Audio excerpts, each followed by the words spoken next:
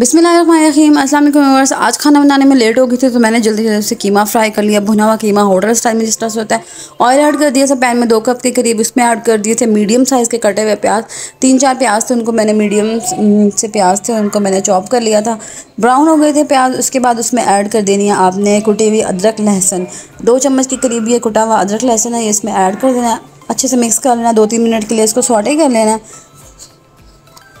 उसके बाद मैं आप लोगों को बताती हूँ कि हम क्या करेंगे। आज बहुत ज़्यादा लेट हो गया तो जल्दी जल्दी बनाएँगे खाना। इसके साथ ही इसमें दो तीन इलायची बड़ी इलायची और इसके साथ दो तीन स्टिक्स सिनेमन की ऐड कर देंगे, दालचीनी की। साथ ही मैंने ऐड कर दिया आधा किलो के करीब कीमा। चिकन का कीमा ये इसको जल्दी से इस तरह से भून लेंगे, थोड़ा सा ये भूना जाएगा। इसके बाद इसमें आपने ऐड कर देना नमक। एक चम्मच के करीब इसमें नमक ऐड कर दिया, थोड़ा सा इसको भून लेंगे। अब मैंने मसाले जो थे वो दही में ऐड किए थे। ये तकरीबन 250 ग्राम के करीब दही है, उसके अंदर मैंने ये सारे मसाले ऐड कर दिए। इनकी डिटेल डिस्क्रिप्शन में वहाँ से आप लोग चेक कर लीजिएगा इनकी क्वान्टिटी मिक्स करके अच्छे से मैंने दही में इनको, मसालों को और उसके बाद मैंने इनको ऐड कर दिया था कीमे के अंदर।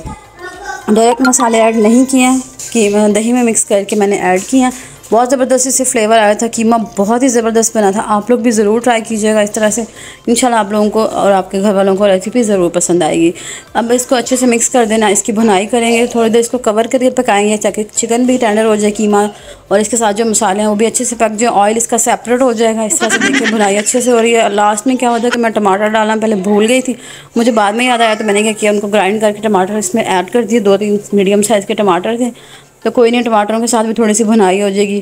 फ्लेवर ज़बरदस्त हो जाएगा। थोड़ी देर कवर करके इनको पकाया था। देखें, टमाटर भी अच्छे से सॉफ्ट हो गए, हर चीज़ अच्छे से सॉफ्ट हो गई है। देखें, ऑयल सारा सेपरेट हो गया अब आपने क्या करना है कि कीमा बिल्कुल तैयार है। लास्ट में इसमें ऐड कर देना आपने शाही गर्म मसाला। इसकी रेसिपी चैनल पे मौजूद है, आप लोग ज़रूर देख लीजिएगा। एक चम्मच के करीब इसमें ऐड कर दिया और लास्ट में इसमें ऐड कर देंगे कुछ स्लाइस हुए हुए लीमू जुलियन कट में अदरक, उसके साथ साथ बस मिर्च, कुछ साबत, कुछ कटी हुई, ज़बरदस्ती ये चीज़ें गार्निशिंग के लिए ऐड कर देंगे इसमें। आप चाहें तो इसमें सब्ज़ धनिया भी काट के इसमें ऐड कर सकते हैं और बस ये देखें। दो मिनट के लिए इसको कवर करेंगे ताकि गर्म मसाले की खुशबू जो है वो कीमे में ज़बरदस्त आ जाए और बस देखेंगे दो मिनट के बाद ज़बरदस्त हमारा होटल स्टाइल में भुना हुआ कीमा रेडी हो चुका है। बहुत ज़बरदस्त रेसिपी है, ज़रूर ट्राई कीजिएगा। वीडियो पसंद आई हो तो लाइक कर दीजिएगा फीडबैक ज़रूर दीजिएगा। अगली रेसिपी तक के लिए अपना बहुत सा ख्याल रखिएगा। दुआ में याद रखिएगा। अल्लाह हाफिज़।